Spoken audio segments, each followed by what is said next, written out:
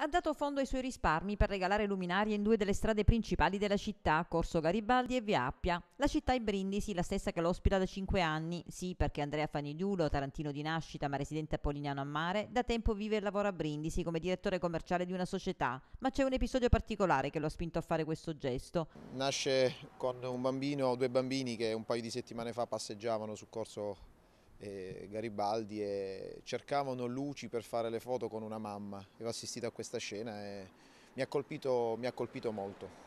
Ma quello di Andrea è soprattutto un modo per dire grazie alla città che l'ha adottato. Mi hanno dato veramente tanto a livello proprio eh, di affetto, di stima, di amicizia e in una situazione del genere, in un momento del genere, essendo io un grande fan delle luci, delle luminarie, del Natale, mi è venuta questa idea molto semplice. Andrea vive di un normale stipendio, ragion per cui molti gli hanno chiesto perché mai spendere soldi per una città che non è neppure la sua. Le spiegazioni le ha affidate ad una lettera al sindaco Rossi e ai brindisini.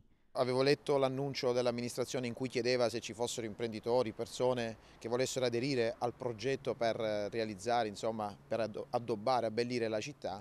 E dato che mi chiedevano il perché volessi fare questa cosa, ho scritto due righe, mi sono permesso di dire in queste due righe il mio grazie alla gente e il perché l'ho fatto davvero senza alcun fine. È un momento difficile per tutti, è un periodo davvero difficile, magari anche fare una passeggiata, vedere le strade un po' più illuminate, credo che faccia bene a tutti.